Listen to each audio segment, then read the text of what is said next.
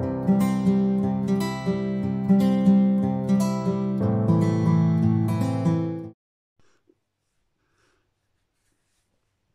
everyone, welcome back to my channel. So it is Sunday evening, it is absolutely pissing down rain and dark and I just thought I'd come on and do a little things I've been loving kind of favourites video.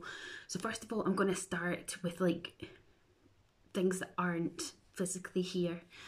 So I want to start by saying I have been loving a new author called Amy Cross. She writes like horror, thriller, crime kind of books. Now, I am an avid reader. I am on Goodreads and I have set my reading challenge for this year at 50 books and I have read 47. So I'm doing pretty well. I went off reading for a little bit, but I've got right back into it. I love it so much. I struggle a lot to sleep and I struggle a lot to stay asleep.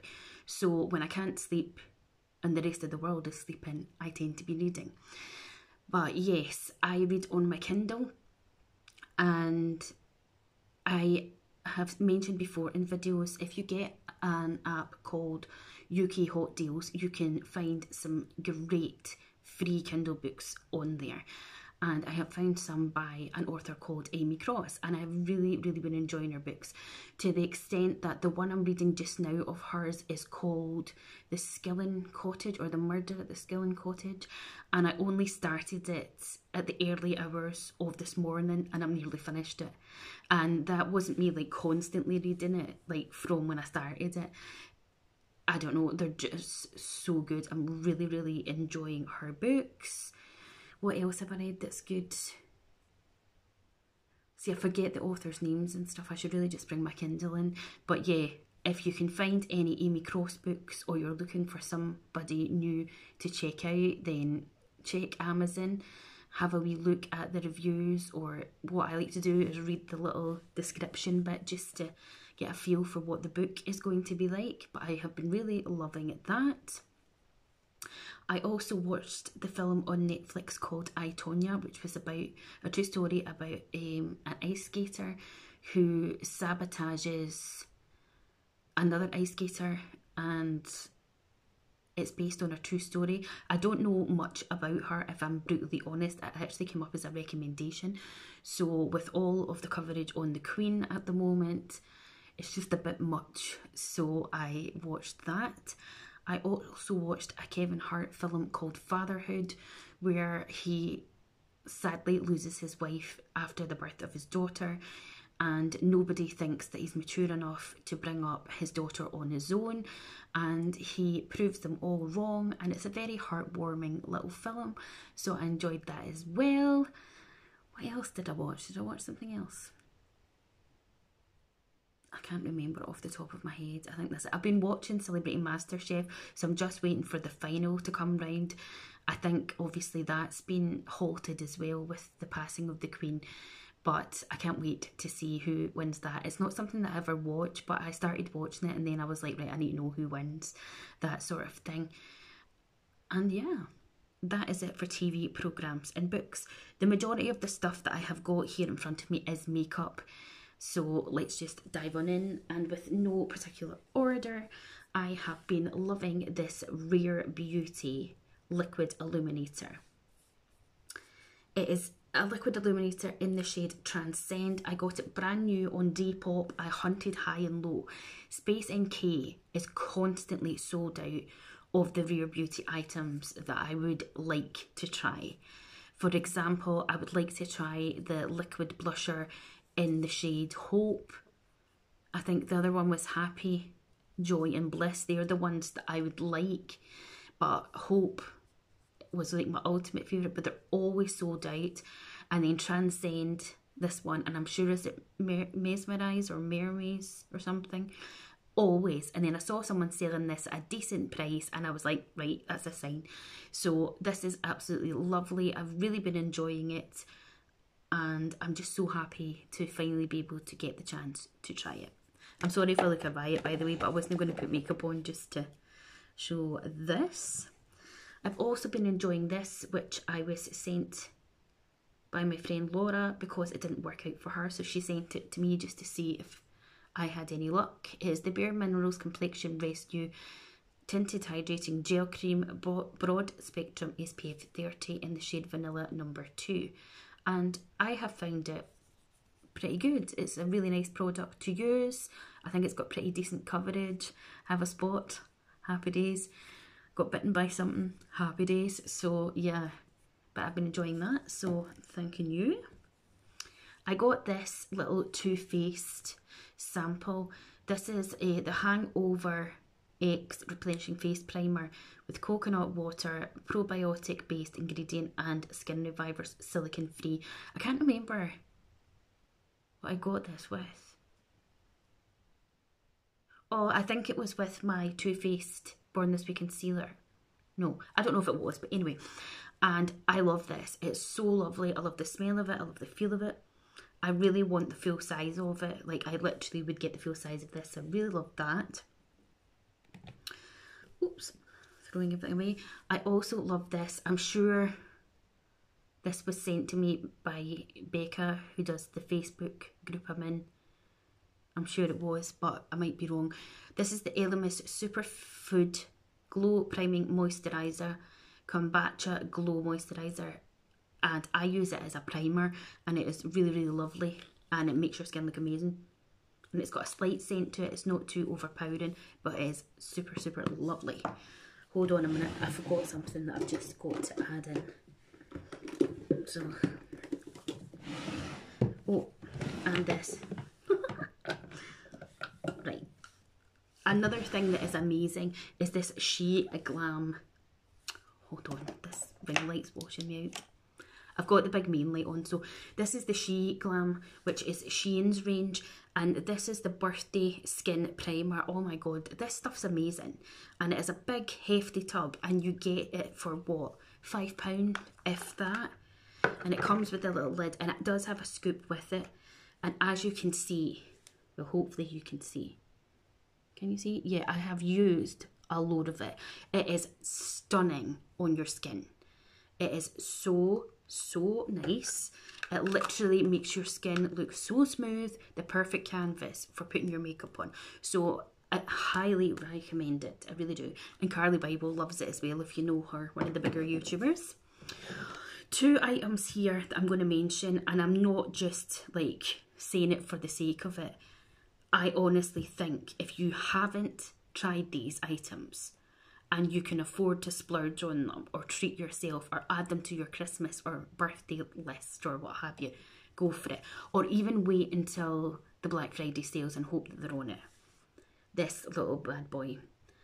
This does cost £29, but oh my god, is it worth it? To me, yes it is. This is the Glow Wish by Huda Beauty. It is the Luminous Press Powder and I have it in the shade 03 Light and I absolutely love this. It makes your skin look so, so airbrushed and smooth and it smooths out all those pores under the eyes when you're setting it.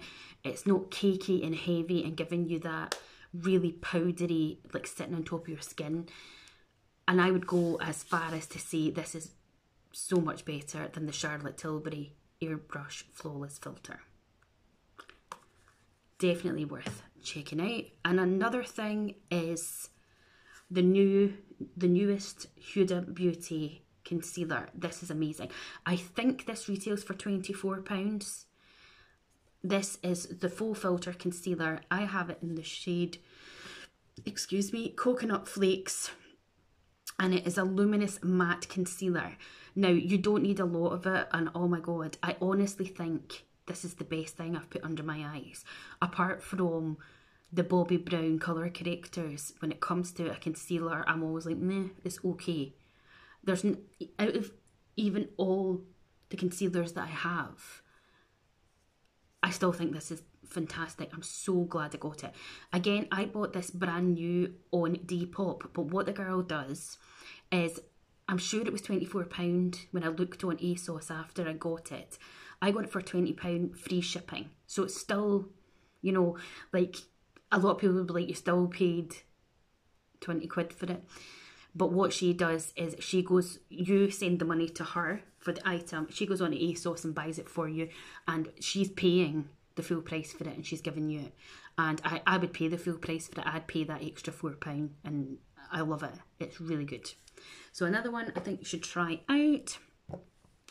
If you haven't tried the Maybelline Lifter glosses, these are brilliant. They're also a great dupe for the Fenty glosses. And this one is in the shade 007 Amber. It also has hyaluronic acid in it, so it's going to be really nourishing on your lips. And they are just absolutely stunning. And they're about £8, so they're a lot cheaper than the Fenty ones. So if you can't afford the Fenty ones, you should definitely give these a go. God, I got really dizzy there. Okay, next up is a pigment. I don't use pigments a lot. Now, I'm going to mention it again. When my original Gingerbread Girl channel was going smoothly until the lovely Google account has locked me out and for whatever reason doesn't want to let me back in, I was doing a series using my peaches and cream pigments. And this one here, oh my god, is Gatsby and you need it in your life. It is this gold, absolutely gorgeous pigment. It is divine. This one and the one called Peached, you have to try. If you're going to get any peaches and cream pigments, they are the two that I highly recommend. They are absolutely glorious. Next up is some more SheGlam. I love SheGlam and I believe they've just brought out highlighters in this packaging so I can't wait to try them at some point. But this is the Colour Bloom Liquid Blush in the shade Float On. It is gorgeous. I love the packaging. I love the component. It smells divine. It is so nice and it is the most beautiful colour absolutely gorgeous. You can also get, a, they call it their wardrobe that has got every single shade of the blusher. I think it's about £29, but they're absolutely amazing. So good value for money, really, really gorgeous. You don't need loads and you can build it up.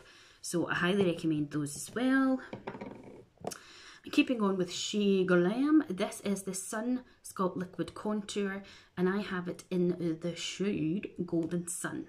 And at first I was using, well I could, for me I could use this as a liquid bronzer or a contour, but it does work well for my skin tone as a contour and then put the bronzer over. This smells like a chocolate mousse. Oh my god almighty. I just want to eat it. And if you can see there, it's got the wee holes at the bottom. And when this sponge goes in, it obviously works its way and absorbs into there. Just love it. Really, really fabulous. I have also been loving this liquid liner. Now, I am absolutely shite at liquid liner, like freehanding it. Just crap. My eye blinks like buggery. I've got eyelashes missing here. As you can just see there, from when I had chicken pox when I was younger, it just goes all to pot. So I tend to put a bit of tape at the sides to try and get a bit more precision. But these Sephora liners are brilliant. Now, obviously we don't have Sephora over here. I'm very, very lucky and very appreciative, really struggle to say that word, of my beautiful friend Laura that stays in America because she kindly picked up the black one for me because I first discovered this when another YouTuber, is this it here? That's the next one. I can't find it oh, I can't find it, but I've got like a tealy coloured one that uh, the Brutally Honest Beauty sent me and it's fantastic. And Laura kindly picked me up the black one. It'd be great to have a brown one as well. They are so good to use. They're so easy to use. So we'll be loving that. Store them down, um, upside down. So much better. She also kindly, Laura, sent me this Flower Beauty blusher. One, because she knows I'm blusher obsessed, and two, because she knows that you can get a couple of Flower Beauty items, which is Drew Barrymore's brand in Superdrug, but you don't get much of it. And she sent me this blusher, and it is in the shade, if I can find it, Peach Primrose, and it is absolutely gorgeous. It's so stunning and it's got this gorgeous flowery pattern. It's almost similar, the pattern, to the um, UE Cosmetics ones, but it's really lovely. So I'm enjoying that recently. And another SheGlam must have is the SheGlam Insta Ready Face and Under Eye Setting Powder Duo. Again, this went viral on TikTok. So you've got your loose powder at the bottom here, and then you've got your pressed powder at the top. And again, I believe this is £5 or under. Absolutely fantastic. The only thing I hate is that even though it's got a sifter here and it's closed, a shit and a product is sat in the top. So be aware of that because it goes everywhere. And then you will have seen my video, hopefully. If not, go and check it out after this, where I did a video on my Kiko haul. So I got a few bits from Kiko and I picked up one of their eyeshadows. This is their long lasting weight and dry use eyeshadow and this one is in the shade 209. They're a bugger to get open and it is this absolutely stunning olivey green and I got a lot of compliments on the look that I did. I don't know if I filmed the look, but I definitely I'm sure I put it on my Instagram, which is at makeup lover 44 Julie. What is that it? Makeup. Makeup. Oh, I'll put it down in the description. See, this is what I mean. See, with constantly getting locked out of things, it's just a ball ache. But anyway, this is gorgeous. And I also have a teal coloured one, which I haven't tried yet. And then I've really fallen in love with these two products. This one here is the Radiant Touch Bronzing Powder in the shade 101. It is absolutely brilliant. Can you hear that rain? Bouncing down. Absolutely stunning. Stunning, stunning, stunning. Love it. So good. So happy I got it. And this highlighter, oh my god. Again, I've used, I think I've used it in videos that are coming up that you'll probably see before. See, because I pre-record as well, this is going into October now, these recordings, I think, possibly even November now. But yeah, anyhow, mm, see it's the same packaging. This is the Ultimate Glow Highlighter in number three. Oh my god, it is absolutely stunning. And I definitely have posted this on my Facebook and a lot of people message going, what is that highlighter you've got on? And I'm like, it's by Kiko. And they're like, is it a powder? Is it a... What is it? Because it just looks amazing. And it actually does look amazing. So again, if you haven't tried Kiko, check them out. I picked up the stuff when they happened to have a 70% sale. So it's worth looking to see then. And then the last couple of things is some palettes. Again, I love getting stuff from Depop and I love getting, I don't mind getting stuff from eBay and it's always brand new stuff I get. There's a couple of things from Depop that I've got that is very lightly used or has only been swatched. That doesn't bother me. And another site that I have found and been getting some things from of recent is Beauty Boxes by Tammy. So these two, this item and one other item I'm going to show you I got from there. So this is the Juvia's Place, the Taupes palette. It is absolutely gorgeous. Pretty boring to some people. Not normally something that I would choose myself, but I don't know why th these colours were just screaming to me. And I just loved it so much. Again, a lot of the looks I haven't done since I've had to create this new channel, but they're all still over on the other channel, the original gingerbread, if you want to go there and check it out. And I will get round to using them on here. And again, I post all my looks on my Instagram. I'm sure it is Makeup Lover 44 or Makeup with Julie 44. It's one of the two, but I'll, I'll put it in the description because my head's up Mars. But yeah, so this palette, I love it and then sticking with guessing palettes from Beauty Box with Tammy, I got this gorgeous creature. Oh, look at this. Ah. See, when my boyfriend heard this, he was like, oh, your shadows are all broken. I was like, don't say that. Because I didn't even notice this. It was what was inside I noticed. Basically, this is the Mikayla and Glamlites second collab palette. Glamlites is an American brand. Mikayla is on TikTok. I'm sure you all know more about her than I do. I know who she is to see, but I've never really watched her. And I've heard a lot of people going about her. I've seen the first launch that she did with them. And you know, they do a lot of quirky and really out there um, like pizza boxes and burger boxes, like really chunky, bulky pallets. But it kind of puts me off buying from America and different brands if I've never got from them before because I never know if I'm going to get custom charges. Like Colourpop, I know I'm not going to get custom charges. Lethal Cosmetics, even though they're in Berlin, I never got any custom charges, so I'm comfortable to buy from them.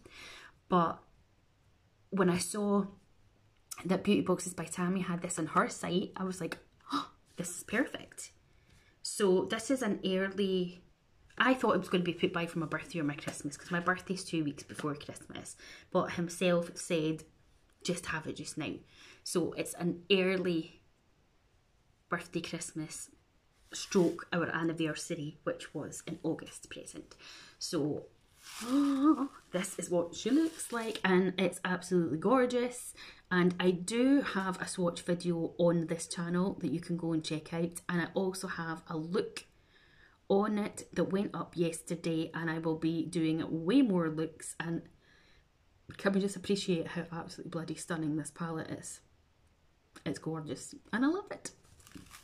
And then the last thing I got brand new from Depop and this is the Huda Naughty palette because I hummed and hawed about getting these.